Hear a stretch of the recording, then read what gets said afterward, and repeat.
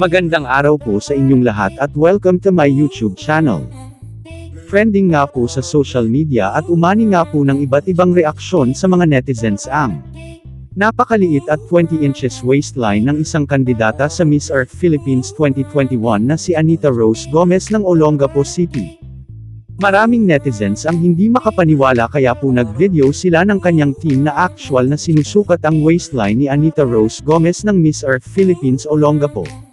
At dito ay napatunayan nila na 20 inches nga lang talaga ang sukat ng kanyang baywang.